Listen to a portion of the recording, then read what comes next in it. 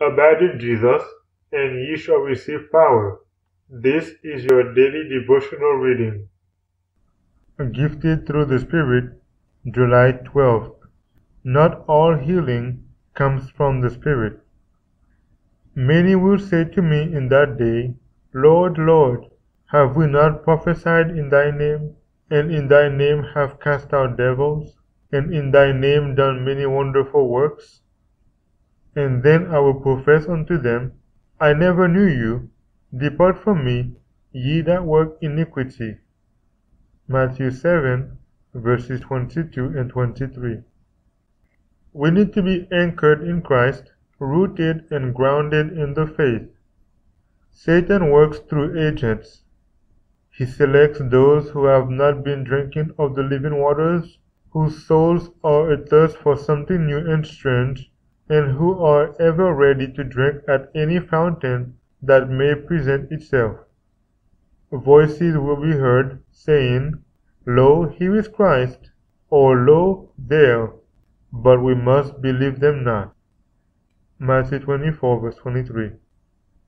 We have unmistakable evidence of the voice of the true shepherd, and he is calling upon us to follow him. He says, I have kept my Father's commandments. John 15, verse 10.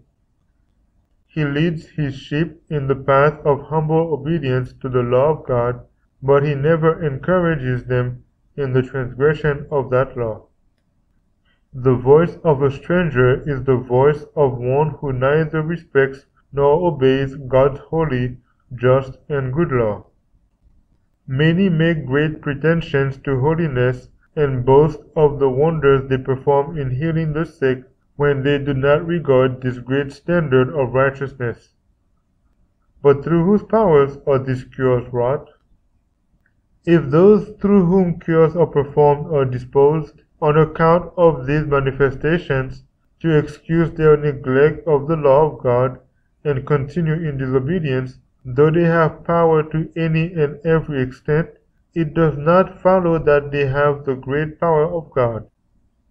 On the contrary, it is the miracle working power of the great deceiver.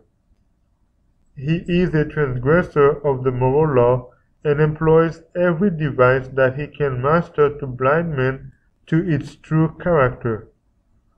We are warned that in the last days he will work with signs and lying wonders.